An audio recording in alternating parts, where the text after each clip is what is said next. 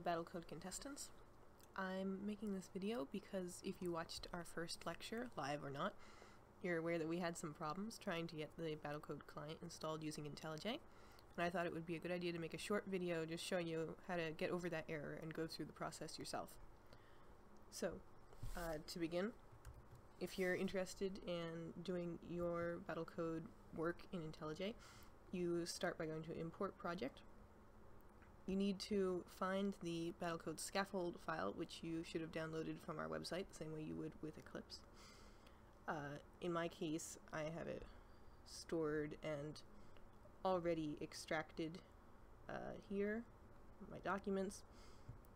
You're going to direct IntelliJ to the build.gradle file. When you select this, uh, you'll notice here's the place where we had our error during the lecture um, it was not able to locate uh, JVM. Uh, so in order to correct this, if you're still getting this in your IntelliJ, which probably means you have a fresh uh, IntelliJ that doesn't know where to locate Java, uh, you're going to go here to configure. You're going to go to uh, project default and uh, project structure. And then you're going to be able to go to new here under project SDK and select JDK and you're going to have to point it to your JDK. Uh, in my case it was under C, program files, uh, and then under Java and you direct it to this file. And so if you do this, um, you won't run into that error when you're actually importing. So if I go back and do that again now, uh, build.gradle, you want to make sure you set create separate module per source set, uh, use Gradle wrapper task configuration. In my case, this was defaulted, so make sure you change this. Set this to 1.8 and click OK. Uh, it's going to take uh, IntelliJ a little while to finish dealing with this. Um, you may get this error. It shouldn't cause problems for now. Uh, at least it wasn't for me. If we figure out how to fix it, we will definitely patch that in.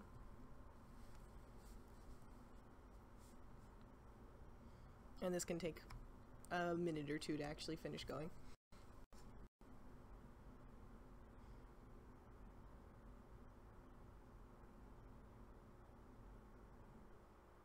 I'll add too that our devs are recommending that people use IntelliJ over Eclipse, although everything should work for Eclipse. Uh, they feel that IntelliJ is going to be more convenient for just about anyone who wants to use it and happens to be a, a sleeker performance. Of course, it is a matter of personal taste. So use whatever you prefer. However, they're pushing this on you.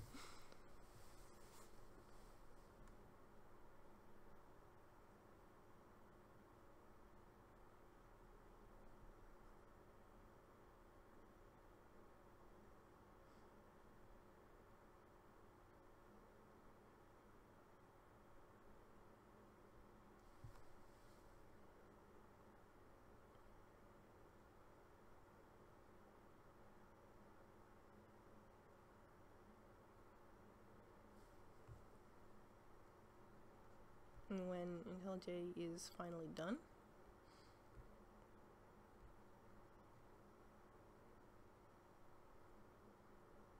Uh, you're going to want to go to View, uh, Tool Windows, then you're going to go to Gradle,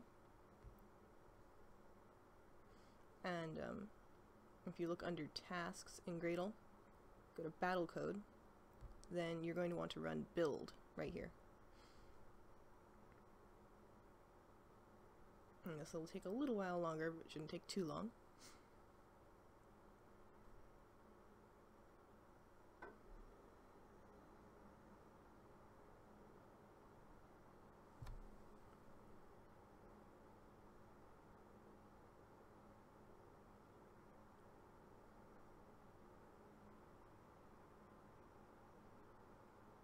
there we go. And when it's finished, you'll notice that there's a new file here, a new folder here called client, uh, under which we have an exec executable here. So if you actually go to your source, you should be able to go to your source folder, uh, Battlecode Scaffold 2017, and then enter the client folder that you just created. And use this icon in order to actually start up the Battlecode client. As you can see, here's the client. Um, if you want, you can create matches from here by going to Run Match. It'll load the players first, then it'll load the maps. Loading the maps does take a little while. Uh, be patient. After they're loaded, you'll be able to run matches as many as you want. This will create match files, which you can then replay at your leisure with less loading time. Uh, just for demonstration purposes here, I created a match. Um, so you can see, you just get it from your match file folder, and uh, you can run it. Now this is just two example Funcs players playing against each other, so there's not too much to see here. Um, but yeah, this is the client, started up IntelliJ. Uh, hopefully this is going to be helpful to some of you, and I'll look forward to talking to all of you at lecture on the second day.